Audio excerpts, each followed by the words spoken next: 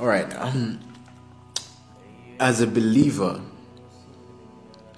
do you believe that there is a price we need to pay? That is the question today.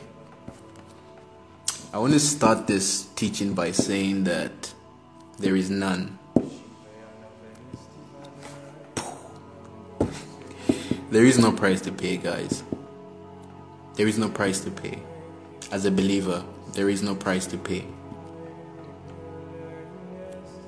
Listen, how can you pay for something that's free? Uh, how can you pay for something that's free?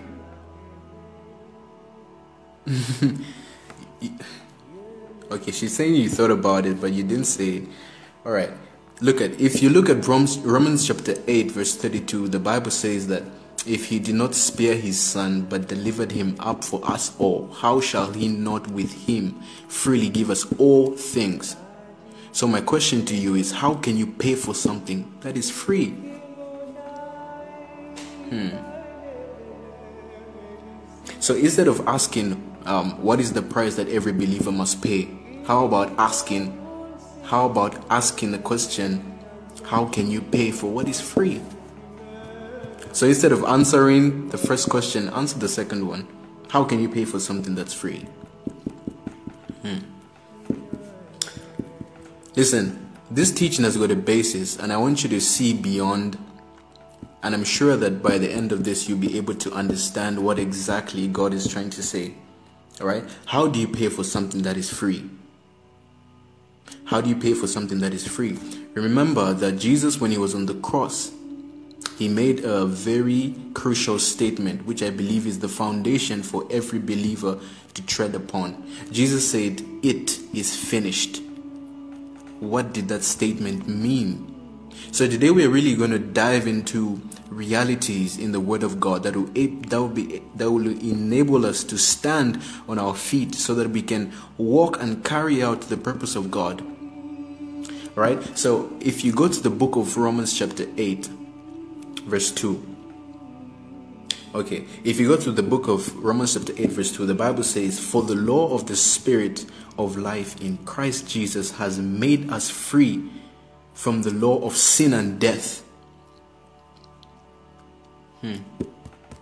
For the law of the Spirit, like I said, I'm going to take it slow so that we can understand. For the law of the Spirit of life in Christ Jesus has made us free from the law of sin and death.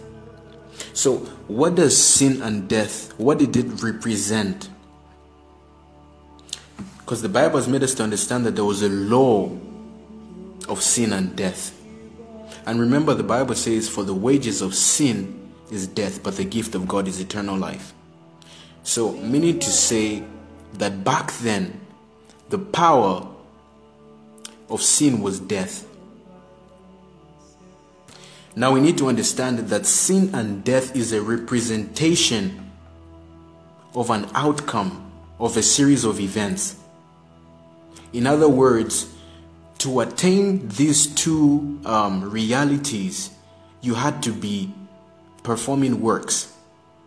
Meaning to say, do A and you see B.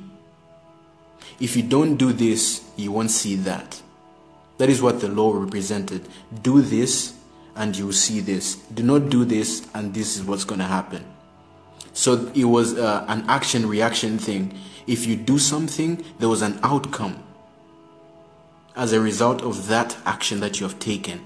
So the Bible is saying that the law of the Spirit of life in Christ Jesus has made us free from the law. So the Bible there is trying to say that we have been freed from works.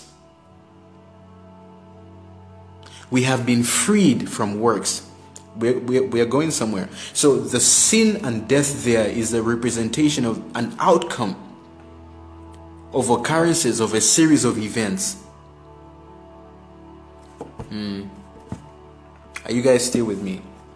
Then, verse 3 For what the law could not do, in that it was weak through the flesh, God sending his own Son in the likeness of sinful flesh, and for sin condemned sin in the flesh. Get this, guys. That the righteousness of the law might be fulfilled in us who walk not after the flesh but after the spirit. So when Jesus said that it is finished, what that actually meant is that the righteousness which was of the law was fulfilled in us. Hmm. Oh God. When Jesus said it was finished, he didn't he didn't mean that that we have ceased from works. That's not what he meant. When he said that it is finished, he meant that the righteousness which was of the law. Remember that that the, that that the glory that Moses saw was just something that was to fade away. It was a shadow of the things to come. And Moses is a representation of the law, a system of works that experiences an outcome. But here the Bible is saying that when Jesus said that it is finished, what he actually meant is that the righteousness which was of Moses, which was of the law, which was was which was fading, which was which was a shadow of the things to come. Mm. Ah, okay, let me slow down. It was a shadow of the things to come. Now, here the Bible is saying that the righteousness which was of the law may be fulfilled in us. So, when Jesus said, It is finished, it was a fulfillment of the righteousness which was of the law. Remember that the law was a shadow of the things to come. So, we are, we are talking about an old reality. So, if we are talking about what price the believer has to pay, there is none. Hmm. Hmm.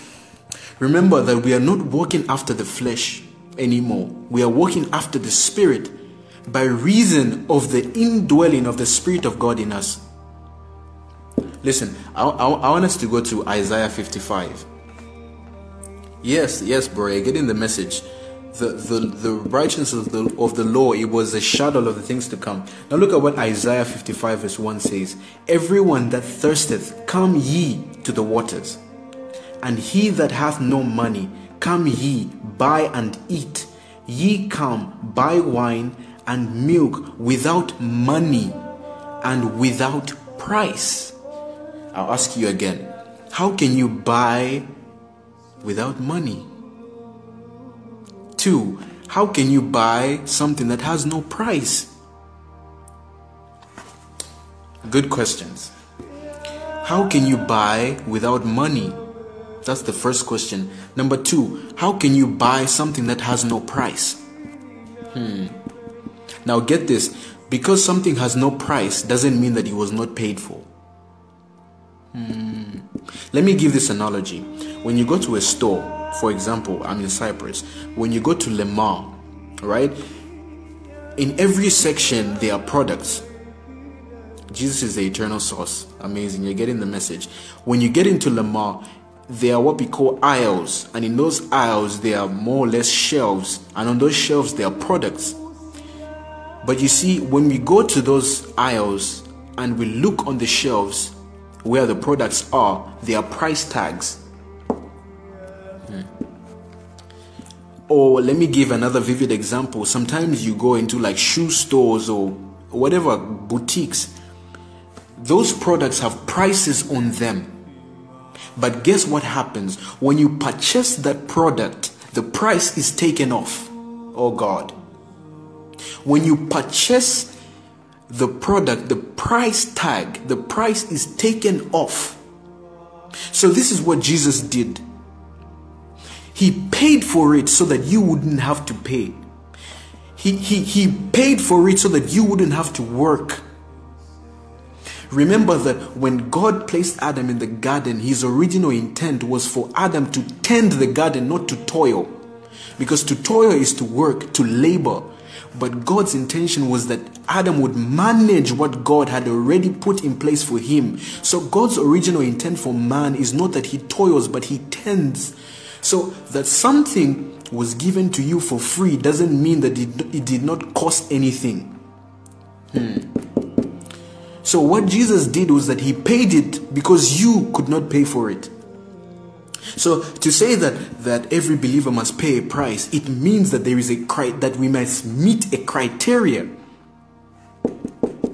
And bear in mind that no man was able to fulfill the law except Jesus.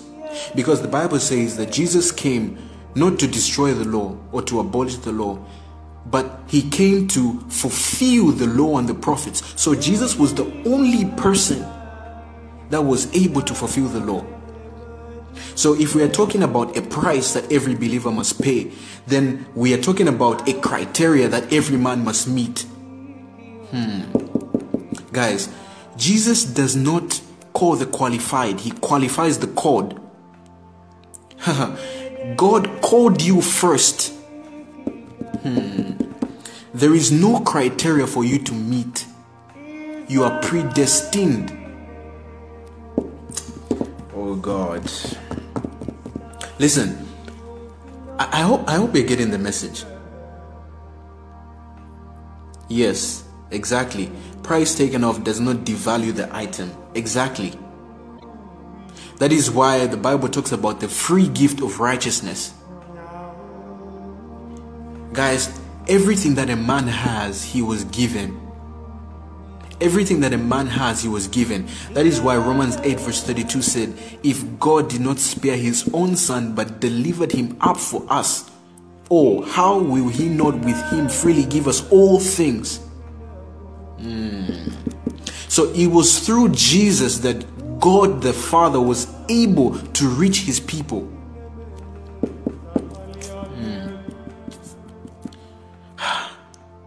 Listen, it was through the Son, who was the eternal Word, that the, the, there, was, there was no other uh, uh, worthy vessel that God could, could use hmm, to reach his people. And so he had to come by himself. Remember that God's intention was to reconcile the world back to God. Because that presence that Adam lost needed to be restored and God had to come by Himself. So there is nothing that you can do hmm, to earn what God has given to you or what God will give to you. There is nothing that you can possibly do to earn what God is going to give or has given to you. Listen, Jesus revealed a mystery in, in, in John 14. He said that in my Father's house are many mansions. Hmm. That, that is a very funny statement to make. Because how can there be a mansion in a house? Think about it. Jesus said that in my father's house are many mansions. How can there be mansions in a house? If anything, they, there should be a house in a mansion. So, what was Jesus talking about there? He says, In my Father's house are many mansions, and I'm going there to prepare a place for you. But remember that this was before Jesus had died. Hmm. So, what was the Bible talking about there? In my Father's house are many mansions. In my father's house are many mansions. What Jesus meant that in his father's house are many realities, many possibilities. Uh, in my father's house are many realities, many possibilities. And then he says, Behold, I go to the Father to prepare a place for you. But then he says that I shall come back to you and I shall take you unto myself. Uh, and then he said that so that where I am, you may be also. And then uh, Thomas asked him, how, how can we how, how can we go to a place that we don't know? How can we how can we we don't know where you are going? How can we go to a place that we don't know? Then Jesus says, I am the way. I am the way. I am the way. I am the way, the truth, and the life that no one goes to the Father except through the Son. Guys, I'm trying to make you understand the new reality that we have been placed into, the new reality that we've been called to. Ah, guys, is the message is the message sitting in? Okay, let's let's let's tone it down a little bit. I want to hear from you guys. Are you guys still here? It is a new reality. It is a new reality. It is a new reality. Guys, we have passed from death to life. There is no price to pay. How can you pay for something that has already been paid for? Jesus freely gave it to you. freely. There is nothing now that you can ever do that can change God's mind towards you.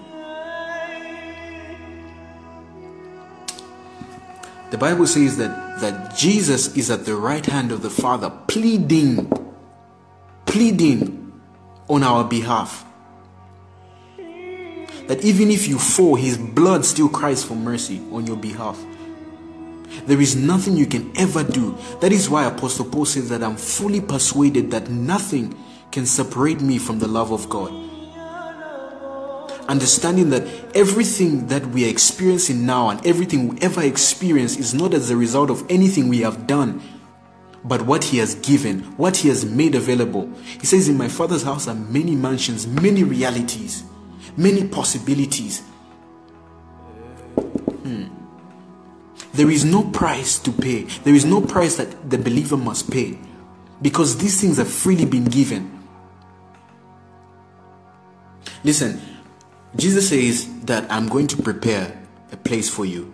Listen, if I if I give you an invitation and say, "Come to my house," I am going to prepare a meal for you. Huh. I'm not expecting anything other than your presence. Oh God, I am not expecting anything from you other than your presence. I will do the cooking. I will buy whatever needs to be bought. All you need to do is come. Oh, oh my goodness. So Jesus is revealing that there are realities in his Father, there are realities in him. Because bear in mind, he says that I am in the Father and the Father is in me. It is a new reality entirely. We need to throw away that mindset. There is no difference. We just use words to try to help our minds to understand there is no difference. Father, Son, Spirit, they're all one. The Bible says that he that is joined with the Lord is one spirit with him. In the spirit, we are all one. There is not, there, you can't separate the two, we are one. All right? So I've prepared everything and I tell you to come. That is what Jesus did.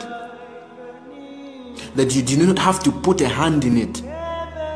That he orchestrated the plan for salvation by himself and he executed it by himself. So then, who are we to think that we can carry out the purpose of God by ourselves? Hmm. That is why Jesus said that it is not I, but my Father which is in me that doeth the works. That is our reality. Remember that Jesus said that I and my Father shall make our abode in you. That is why Apostle Paul said, It is no longer I that lives, but Christ that lives in me. Oh God. And Romans says that how that Christ died, or rather, he was raised to life. Oh my goodness. He was raised to life. That is, that is our, our new reality. We have been raised to life. Remember that the Bible says that when we when he was buried, we were buried with him. When he resurrected, we resurrected with him. Guys, that is our new reality. We are raised to life. We are raised to life. Jesus says that the words that I speak, their spirit and their life. That is our reality. It is our reality of life. Now, what, what we as believers talk about, because many will think um, the price that every believer must pay is that we need to fast. Hmm. Believers believe that the price we need to pay is prayer. Hmm. Believers believe that the price we need to pay is persecution. Hmm. These, all are amazing, amazing things, but we need to understand from when, whence they come from. Why we do all these activities, where they stem from. I love what Apostle uh, Peter said. He asked Jesus that, we have left all and we have followed you. What shall we have then? Remember that the apostles were with the message. They associated with the message. By the message, I mean Jesus. They're associated with the way. They associated with, they associated with life. And Peter asked him, We have left all and we have followed you. What shall we have then? We have left all and we have followed you. What shall we have then? Listen, guys. Peter said that we have left everything. We have left everything. Jesus did not ask them to leave everything. They themselves left everything and followed him. Hmm. The Bible says that the goodness of God induces it, it, it induces repentance. The goodness of God induces repentance. And remember that they are associated with the word, they are associated with the message, they are associated with life himself. It is the message that induced a conviction within them to leave everything they had just for the sake of the gospel. So when when when we say that uh, that we are we are fasting and we are praying, when we say that uh, we we we sold everything that we had so that we can serve God, that is not a price. Oh God. That comes by reason of your association with the eternal word, your association with the eternal message. That message induces conviction. Hmm. Even the Bible in Matthew said that affliction and persecution arose because of the word. Listen, persecution, affliction, they, they come as a result of what is inside.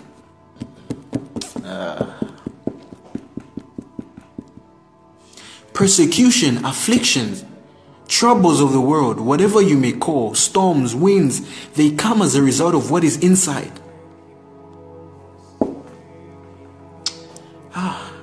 So it's not because of you, it's because of the word. Ah. To you, persecution is a reward. Affliction, persecution is a reward.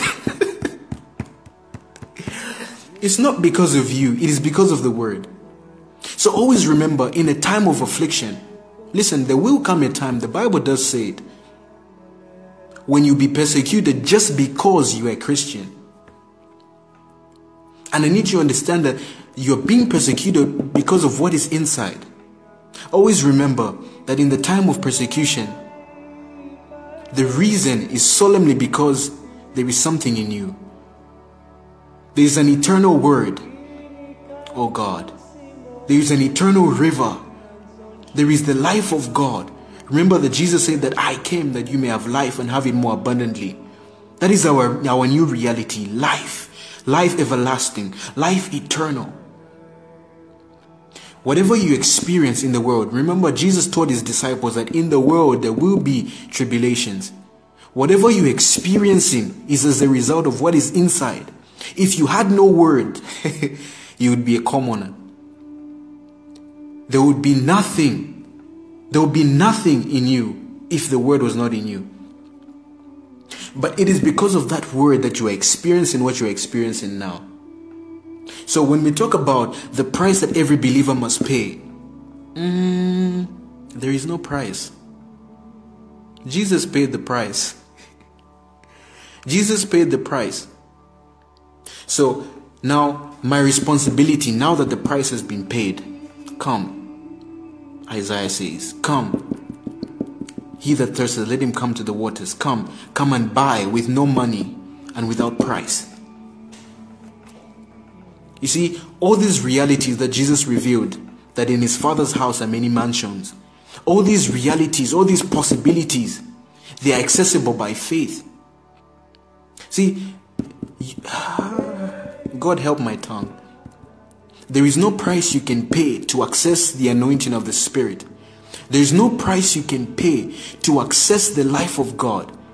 Oh my goodness. There is no price you can pay to access the gift of God. They were freely given.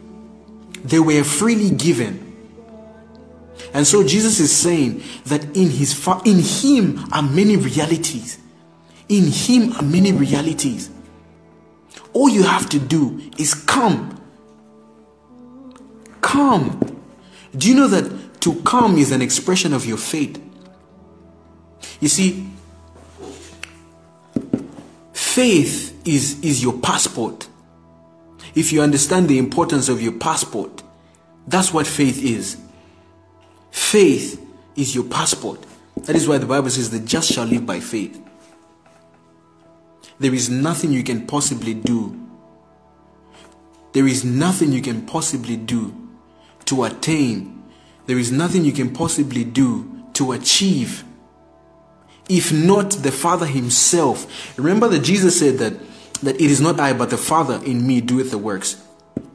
Guys, we cannot effectively carry out the purpose of God without being aided. What you think is you is really not you. That is why the Bible talks of the effectual workings of the Word of God in us. Guys, this is the message. This is the message. This is life. This is life. This is life. That Jesus was raised to life. That Jesus died, or rather was raised to life. That when he was buried, we were buried with him, and when he resurrected, we resurrected with him. This is the message the eternal word. Oh. Man, I'm so excited that you guys could be a part of this.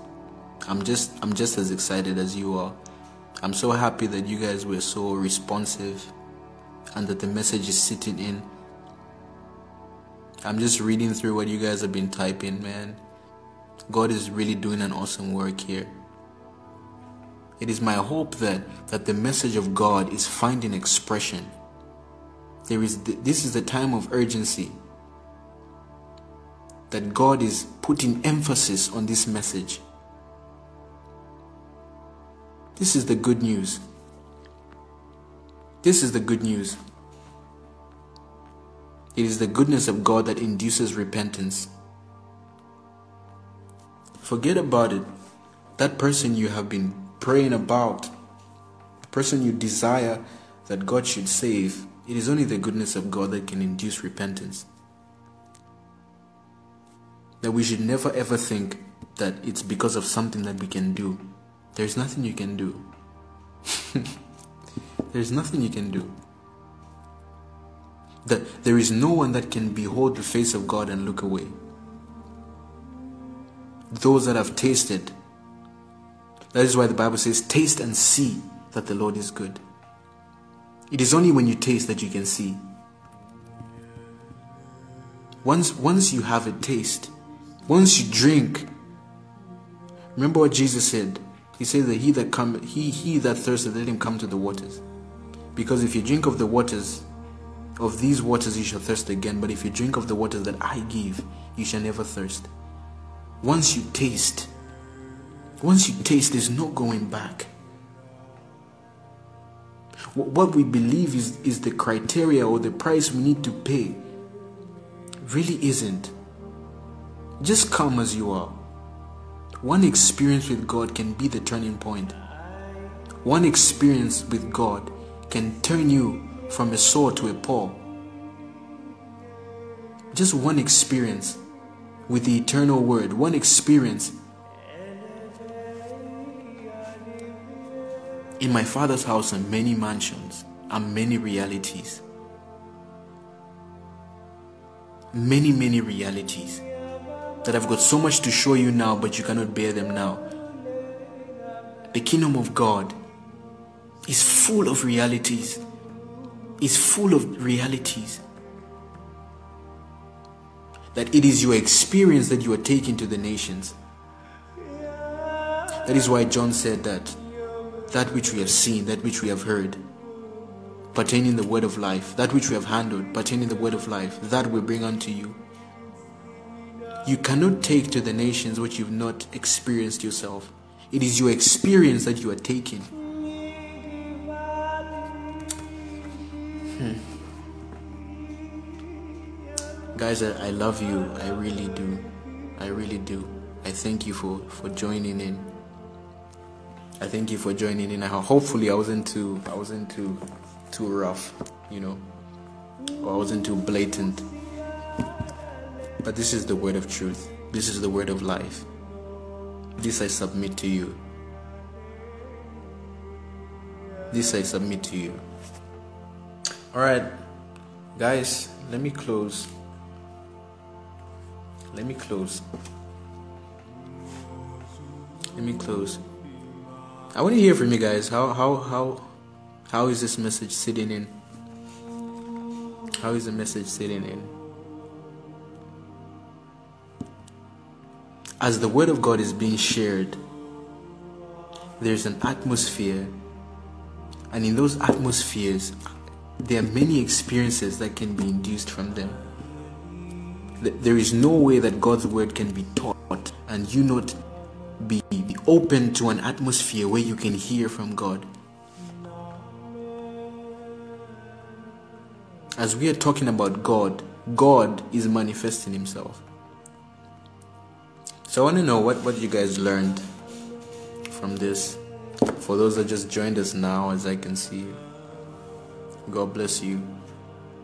And I'm going to save this live streaming so that those that weren't able to join can join in later on. And also, um, I decided to create some sort of archive for these uh, messages because believe it or not this message is not my message.